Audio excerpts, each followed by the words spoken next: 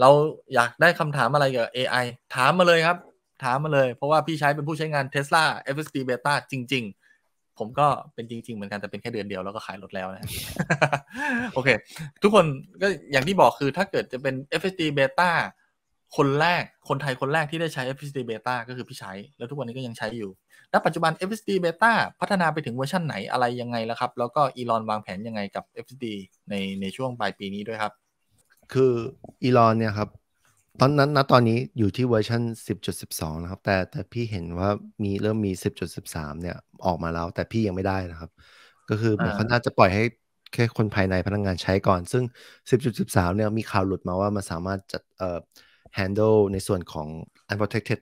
left turn นะครับ ก็คือพูดง่ายๆก็คือเหมือนเหมือนเราอย่างเมืองไทยเวลาเลี้ยวขวา มันต้องเลี้ยวแบบเข้าไปฝั่งอีกฝั่งหนึ่งใช่ไหมครับแล้วซึ่งมันต้องเข้า เวลาเลี้ยวขวาไปอีกฝั่งหนึ่งมันต้องมันต้องข้ามไปให้ถูกเลนด้วยอะไรเงี้ย ซึ่งที่ผ่านมาเทสลาจะมีปัญหาเรื่องนี้พอสมควรก็คือมันยัง handle ไม่ได้ แล้วมันเป็นแยกที่ค่อนข้างจะแบบอันตรายอยู่ครับ ก็เลยคิดว่าไอ้รอบเนี้ยน่าจะพัฒนาได้เยอะ แล้ว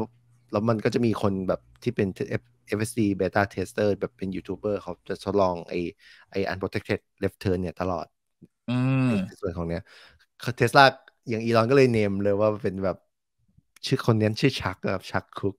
เป็นยูทูบเบอร์อีลอนก็เลยอ่า name ว่าเอออีลอนก็เลยเหมือนให้เกียรติเขาว่าเออ อันเนี้ยเป็นสิ่งที่ FSD จะจะจะจะแบบแก้แก้ไขแบบยากมากอะก็เลย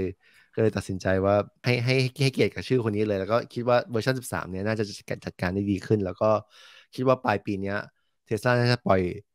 FSD Beta นะครับ ให้กับทุกคนที่ซื้อ FSD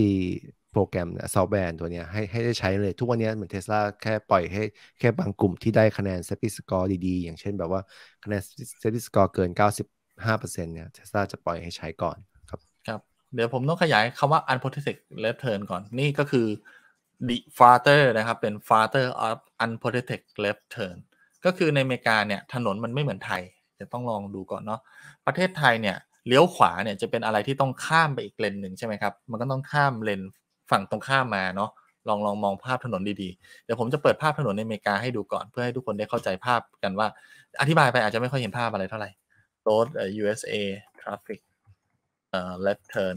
ก็พูดง่ายๆก็คือเหมือนเลี้ยวแล้วต้องไปฝั่งตรงข้ามอีกฝั่งหนึ่งครับใช่อย่างใช่เมืองคไทรับยก็คือเลี้ยวเลี้ยวขวาเมืองไทยคือเลี้ยวขวาอ่าเมืองไทยคือเลี้ยวขวา แต่ว่าฝั่งอเมริกาเนี่ยคือเลี้ยวซ้ายซ้ายใช่ไหมครับใช่ซึ่งใช่ไอการเลี้ยวเลี้ยวเลี้ยวซ้ายของอเมริกาเนี่ยมันค่อนข้างยาก เพราะว่าเออมันมันจะต้องมีเรื่องเนี่ยนะฮะก็คือเวลามันเลี้ยวซ้ายเนี่ยอเมริกาเลี้ยวได้สองเลนด้วยนะ พอเราเลี้ยวไปเสร็จปั๊บเราสามารถไปไปไปอีกเลนหนึ่งได้ด้วย แล้วก็มันจะมี traffic in เขาเรียก incoming traffic ก็คือ traffic ฝั่งตรงข้ามสองมาเลนใช่ไหมพี่ถ้าไม่มีอ่าไฟไฟแดงยังช่วยโอเคง่ายเอ่อทำได้ FSC Beta ทำได้อยู่แล้วถ้ามีไฟจราจร แต่ถ้าไม่มีไฟจราจรเนี่ยแล้วบางครั้งรถอาจจะต้องไปไปอยู่ตรงเกาะกลางก่อน เพื่อรอจะไปต่ออะไรเงี้ยคืออันเนี้ยคือแบบ ไม่แต่คนขับยังยากเลย ถ้าบิงเปิดในคลิปไอ้แยกของไอ้ชักคุกเนี่ย อ่าเออชักนะฮะคือเดี๋ยวเดี๋ยวก่อนเดี๋ยวเราอธิบายเบสิกนิดนึงก่อนก่อนครับที่จะไปก็คืออเมริกาเนี่ยมันมีไฟ เวลาไฟเขียวอะที่ประเทศไทยรู้สึกจะมีไฟเขียวแค่อันเดียวนะพี่ ก็คือไฟเขียวอืมถ้าถ้าไฟเขียวเลี้ยวซ้ายก็คือเออไฟเขียวเลี้ยวขวาอะพูดง่ายๆประเทศไทยจะเป็นไฟเขียวเลี้ยวขวา ถ้าเป็นไฟเขียวเลี้ยวขวาเลยก็คือเลี้ยวขวาได้เลยใช่ไหมครับอืมแต่ประเทศอเมริกามันมีไฟเหลือง ก็คืออะถ้าพูดไปถ้ามันก็คือจะมีไฟเหลืองกระพริบยิวเป็นแบบให้ยิวใช่ อ่าอ่าผมอเมริกาใหม่ๆผมงงกับไอ้ไฟเหลืองกระพริบนะ คือไฟเหลืองกระพริบอะเรามี right ก็คือมีความถูกต้องในการที่จะสามารถเลี้ยวซ้ายได้ห้าสิบเปอร์เซ็นต์แต่ต้องรอรถมันเป็นทางข้างหน้ารองใช่ ต้องรอให้รถข้างหน้าไปรถที่สวนมาอีกฝั่งหนึงก็คือต้องลดให้ไปก่อนสวนมาไปก่อน ซึ่งไอ้กฎตัวเนี้ยแหละทำให้ FSD มันงง เพราะว่า ประเทศประเทศไทยไม่มีเรื่องนี้นะประเทศไทยก็คือแบบอืมถ้ามันเลี้ยวขวาก็คือสีเขียวคือเลี้ยวขวาเลย มันไม่มีมาเขียวแล้วก็เขียวลูกศรหรือเหลืองกระพริบยังไม่มีนะฮะไอ้เหลืองกระพริบอย่างเงี้ย คือถ้าก็คือเป็นแยกวัดใจกันอะก็คือคนก็ต้องกะระยะดีๆใช่ใช่ไหมพี่ อ่า คราวนี้ทุกคนเข้าใจกฎกติกากันก่อนนะ เพราะว่าการที่เขาบอกว่า unprotected left turn เนี่ยก็คือการที่เป็นมันเป็นเหลืองกระพริบ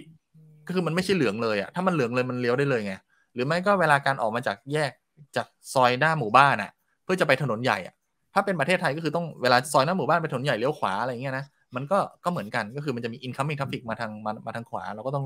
เอ้ยทางทางซ้ายทางซ้ายเออเราก็ต้องเลี้ยวขวาอะไรเงี้ยใช่ไหมฮะมันก็ต้องมานั่งกะระยะรถกันใช่ไหมอันนี้ก็เหมือนกันในในในในอเมริกาก็คือ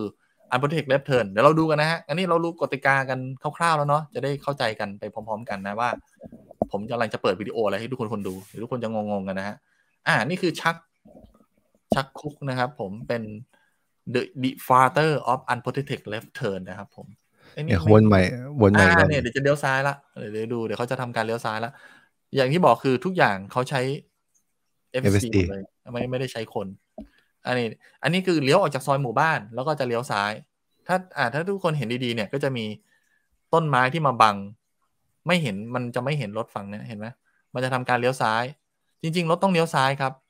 แต่รถมันเลี้ยวไม่ได้มันเลยเลี้ยวขวา ใชใช่แล้วแล้วมันก็จะเลี้ยวขวาแล้วมันจะวนอย่างเงี้ยมันจะไปยูเทิร์น infinite loop แบบวนอย่างเงี้ยไปเรื่อยอ๋อเหรอใช่คือมันจะไม่ยอมเลี้ยวซ้ายใช่ไหมฮะ มันมันมันมีบางเวอร์ชันแต่เวอร์ชันล่าเวอร์ชันรู้สึกเวอร์ชันล่าสุดอะมันแบบไม่ยอมเลี้ยวครับไม่รู้กลัวอะไร เอออ๋อนี่คือไม่ยอมเลี้ยวซ้ายแล้วมันก็จะวนกลับมาอีกที่ที่เดิมเหรอและไอ้ Chuck เนี่ยก็แบบว่าด่าแบบว่าแบบ เอ้า นึกว่าเวอร์ชันใหม่มามันจะดีขึ้นกับทำไมแย่ลงอะไรเงี้ย ก็คืออันเนี้ยแบบมันยืนยันในส่วนของอีลอนก็คือว่า เวลาเขา tweakเวอร์ชันใหม่ขึ้นมา มันจะแบบว่าอารมณ์แบบสองสเต็ปไปข้างหน้าหนึ่งสเต็ปถอยหลังอะไรเงี้ย เออ อันนี้คือหนึ่งตัวอย่างของหนึ่งสเต็ปถอยหลังก็คือว่า อัปเดตซอฟต์แวร์แล้วแบบว่าไอเนี้ยคือแบบว่ากูไม่กลับเลยเออคือรถมันก็จะวนเนี่ยเป็นสี่เหลี่ยมแบบอย่างเงี้ยไปเรื่อยอันนี้คือคือคือแค่หนึ่งในคลิปแต่จะมีคลิปแบบเวอร์ชันก่อนหน้านี้ที่มันพยายามเลี้ยวอะไรเงี้ยก็มีนะครับ ที่ทำได้เนี่ยอันนี้ก็อันนี้ก็ error แล้ว take control อยู่ดีก็ hang แล้วมันเป็นเป็นแค่ spot ตรงนี้ตลอดด้วยพี่พี่ดูคลิปนี้อยู่พี่จำได้เออแล้วคราวนี้อีลอนก็เลยทวีตว่าเวอร์ชันสิบสามเนี่ย ของไอ Chuck Cook เนี่ยที่มีปัญหาเนี่ย ซ่อมได้แก้ได้แล้วแน่นอนอะไรเงี้ยเออแล้วอีลอนก็เลยให้เกียรติเพราะว่าเป็นเป็น unprotected Chuck unprotected left turn เลยเกียรติเกียรติเออมันให้เกียรติเขาเลยเออ อันนี้คือเขาเรียกอะไรซอฟต์แวร์ implementer tester ตัวจริงเลยนะ อันนี้อีลอนต้องต้อง อันนี้คือ test ให้ฟรีด้วยนะครับ คือไม่ไม่ไม่ไม่ได้ตังค์ไม่ได้อะไรเงี้ยแล้วก็ด่าเลย คือที่ที่เขาดังขึ้นมาเพราะเขา